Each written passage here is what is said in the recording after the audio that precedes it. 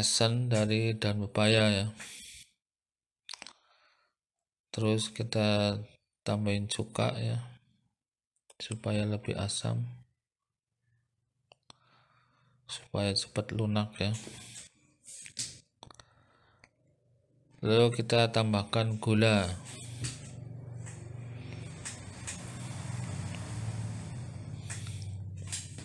Terus kita tambahkan nanas biasanya jadi nanti akan cepat berproses menjadi asam amino yaitu memecah protein hewani. Dalam hal ini adalah misalnya ini ikan ya. Jadi asam amino. Seperti biasa dalam fermentasi kita tutup ya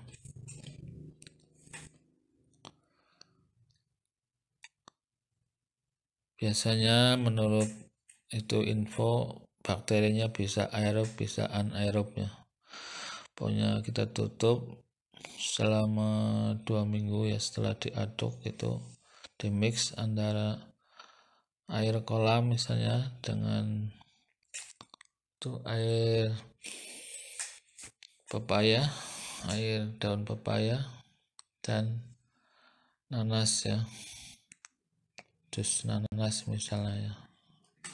Atau kalau eman-eman ya kulitnya ya kita jus ambil airnya di mix lalu kita tutup rapat dalam wadah ya dan disimpan dalam gelap sekitar dua minggu lebih ya lebih lama lebih bagus. Terus kita kasih lubang pengeluaran untuk gas ya. Diberi selang di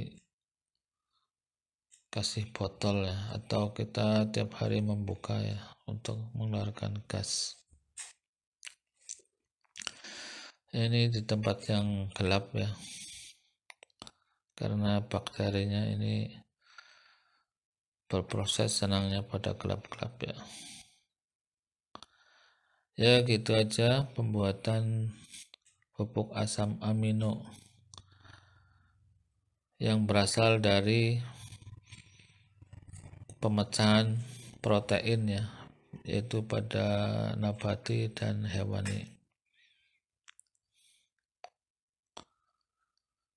Asam amino ini sangat berguna untuk pertumbuhan tanaman ya. Karena adalah ini pokok dari sebuah tanaman supaya tumbuh dengan baik. Ya, terima kasih. Assalamualaikum warahmatullahi wabarakatuh.